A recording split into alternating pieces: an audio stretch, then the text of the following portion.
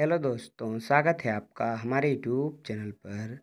तो गाइस, आज की वीडियो में हम आपको बताने वाले हैं कि पोको मोबाइल में एसडी कार्ड को कैसे फॉर्मेट करें या मेमोरी कार्ड को कैसे फॉर्मेट करें ऑल इरेज कैसे करें। तो गाइस, काफ़ी आसान तरीका हम आपको बताने वाले हैं तो वीडियो को लास्ट तक देखते रहिए।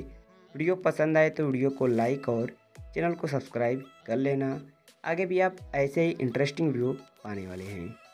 तो गाइस करना क्या है? सबसे पहले आपको मोबाइल के सेटिंग्स में जाना है। मोबाइल के सेटिंग से ही फॉर्मेट होता है। तो चलिए हम मोबाइल की सेटिंग को ओपन करते हैं। तो यहाँ पर आने के बाद, अब आपको थोड़ा नीचे आना है और एक सेटिंग खोजना है स्टोरेज नाम का। तो आप भी चेक कर लेना आपके फ़ोन में स्टोरेज नाम से हो हो सकता है या फिर किसी दूसरे नाम से भी हो सकता है।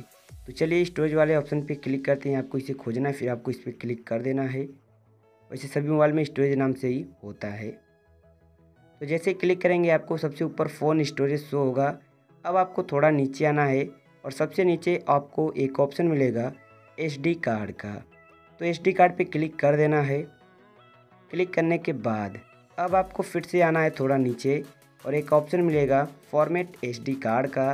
फॉर्मेट एस कार्ड पे क्लिक करना है। यहाँ पर आपको मोबाइल का पासवर्ड डाल देना है और जैसे इतना आप कर लेते हैं, देखिए फॉर्मेट का ऑप्शन आ चुका है। अब जैसे फॉर्मेट पे क्लिक करेंगे एस कार्ड, ऑल इरेज या फॉर्मेट हो जाएगा। तो इस तरीके से आप फॉर्मेट कर सकते हैं। या फिर आपको दूसरा तरीका बताता हूँ कैसे फॉर्मेट कर सकते हैं। तो मोबाइल में से एस कार्ड को निकाल देना है, मेमोरी कार्ड को निकाल लेना है। फिर आपको उस एस कार्ड को किसी दूसरे कीपैड वाली मोबाइल में लगाना है या फिर एंड्रॉयड वाले मोबाइल में लगाना है और उस दूसरे मोबाइल से फॉर्मेट कर देना है। फॉर्मेट करने के बाद फिर से इसी मोबाइल में लगा लेना है। तब भी एच कार्ड फॉर्मेट रहेगा। तो गैस इस तरीके से आप फॉर्मेट कर सकते हैं। तो आज के वीडियो में बस इतना ही। वीडियो को लाइक और चैनल को सब्सक्राइब कर लीजिए। Thank you